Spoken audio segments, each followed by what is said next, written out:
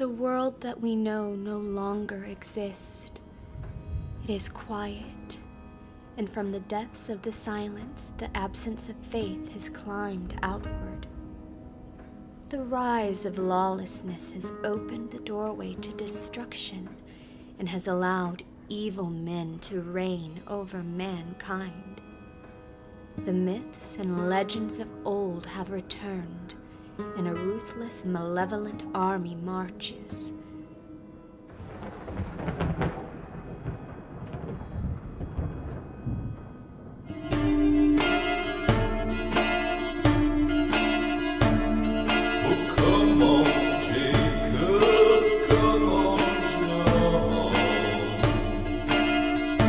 Oh,